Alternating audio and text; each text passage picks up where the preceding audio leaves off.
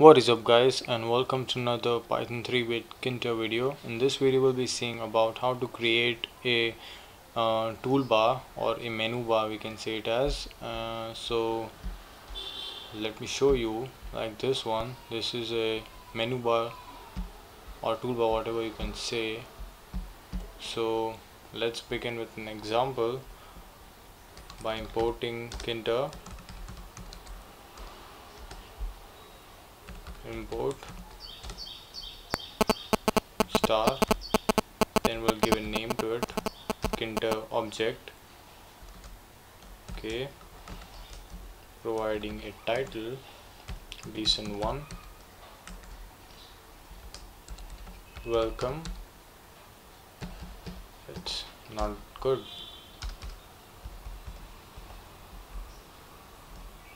And we'll provide a geometry come geometry of um, 300 into 300 then what we'll do is that we'll create a menu object for the main method menu to represent all the menu which we are going to put in that specific bar. So for that we'll create an object or a variable menu is equal to the main method menu and we will link it to the root object of the Tkinter. So it will be specifically over here and then we'll be configuring it with root. It is something like a building built-in function or a method config which we can use in any kind of manipulations. Menu. So this is how you can create just a bar without any options over here just this one um, normal white color thing without any options like this one. We'll just create something a plat a stage or something like that to put your options in it. So now we'll come to options. So we'll create another variable sub menus that is these menus file name edit etc and we'll link it or reference it to the main method of menu menu. We don't need actually root over here because we have stored that particular attribute into menu. So you just need to continue with by calling menu because it's stored. In it and yes now we'll be doing menu dot add cascade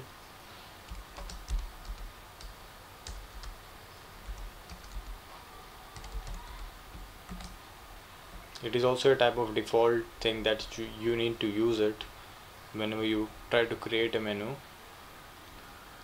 Uh, provide a, a label file. Let's see what we have gained here by running the main loop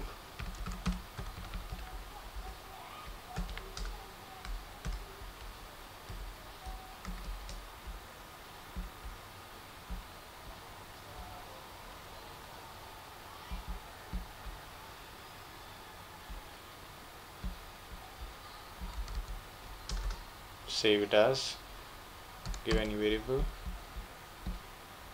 and try to run. So you can see this particular option is created but it cannot do anything because there is no sub menu within it. So let's carry on with it and let's create a sub option within the option file so now we'll be doing is that we'll be calling this one submenu because the file option is in the submenu. So sub m dot add command open. Just label it label is equal to you can call it as save save option. And what you need to do is that you need to mention over here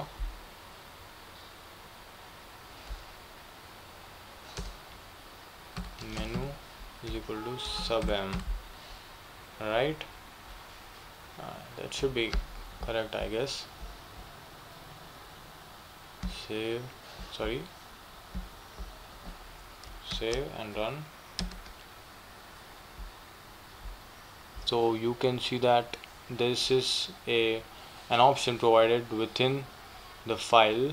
And uh, yeah it's pretty doing the work but there is nothing.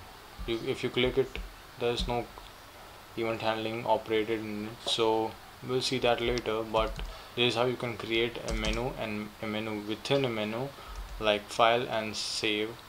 You can create various options within it and so let's create another option. I will be seeing sub menu 1 is equal to menu. Now what we'll do is that menu and yeah then we'll create another add cascade. That's pretty simple to create another option like besides file and label it provided tools. Sorry. And let's label that too with menu is equal to sub m. This is for the option which will be available inside tools. So close that and now you have to use sub m1 dot add command.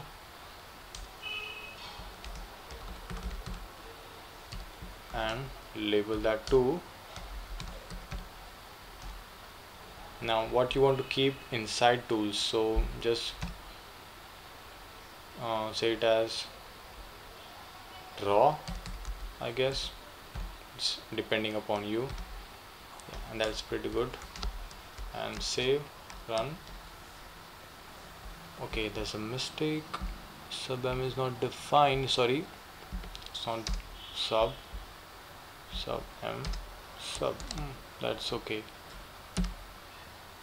Hmm. so file and tools. This is how you can create something like this whatever you want. And now when it comes to um, providing an event handling thing or something. When you click on that option what should it occur? Or yes yeah pretty much it. So for that it's similar to button. When we click on a button what actually happens is that when you click or some particular actions actions are performed so in this case also it is similar if you click on any either of these options like draw an action will be performed. Shall show you. Sorry. Uh, yeah. So for that you need to create a function. To say exit and what it should perform. Or you can say import in message box. Tkinter message box.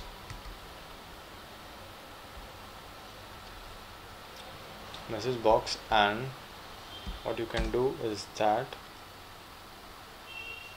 or just leave it. It will be too long. And untidy so just keep a function exit and that's it. Now I'll just create a sub menu within this copy this one and sub m add exit save. And what you need to do is that command is equal to exit. That's it let's see what happens. So exit. Exit. That's pretty much of it.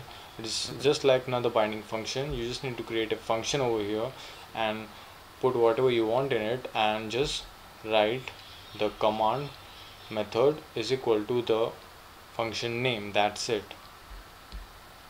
It is similar to button. Just uh, be sure that it should be besides the main button or the option which you have created like this one. That's it. You can provide any kind of command to it. It's upon your logic. So that's it for menus and toolbars. And thanks for watching this guys. And in the next video I'll be showing you how to create a simple GUI or something like an interface which you can interact but it, it will be not with a database. It will be like a static thing which will be soon which I'll be showing you soon. So stay tuned for it and thanks for watching